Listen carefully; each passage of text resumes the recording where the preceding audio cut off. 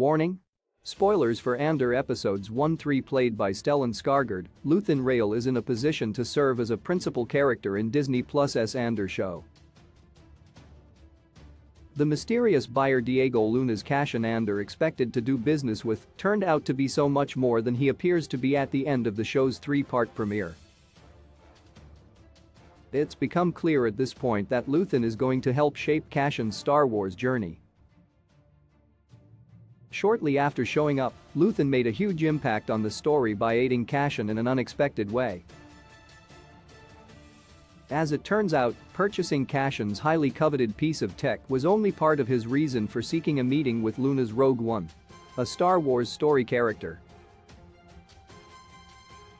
Understanding Cassian's talents, the character obviously has big plans for him, which explains why he risked his life to get him off-world and out of harm's way. Exactly what he wants hasn't been revealed, but his intentions were hinted at when he suggested that Cassian should want to fight his enemies for real. All signs point toward Cassian's reluctant team-up with Luthen being the very beginning of his journey in becoming the rebel spy he was presented as in Rogue One. All things considered, Luthen is sure to be vital to what comes next. As for who he really is, certain details about Skarsgård's character provide some clues on what to expect from him as Andor Season 1's 12-episode story continues.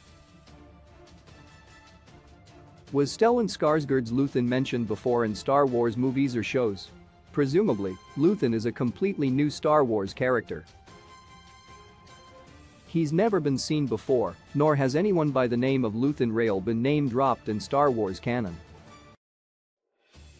The only way he can be tied to an existing character is if Andor Season 1 were to drop a surprise reveal and confirm that Luthen Rael is an alias meant to mask his true identity. Stellan Skarsgård's Luthen secretly has a double life on Coruscant, the official Star Wars website describes him as a man with an eye for valuable finds, which fits with his interest in purchasing expensive and hard-to-find tech in Andor. This apparently goes in hand in hand with his desire to oppose the Empire. Interestingly, there's another side of him as well. Trailers for Andor indicate that Luthen might be a wealthy aristocrat based on Coruscant. Since he was seen talking with Mon Mothma, a known politician from Coruscant, in the marketing, it's possible that he has a political position of some kind. Why is Luthen working with the rebels? What's his plan? Whether he comes from wealth or not, it's not surprising that Luthen would be willing to take a stand against the Empire. Of course, doing so will put him at risk of losing everything he has, but given the Empire's reputation as evil, oppressive tyrants, it's not hard to see why he'd have a negative view of them, especially if he's a politician who truly cares about the welfare of his people. And if he really is from Coruscant, a planet that acts as a capital for Empire, then it stands to reason that Luthen is privy to many of the wrongdoings committed by the Empire. Defeating them and destroying the influence they have over his homeworld could very well be his ultimate goal in Andor.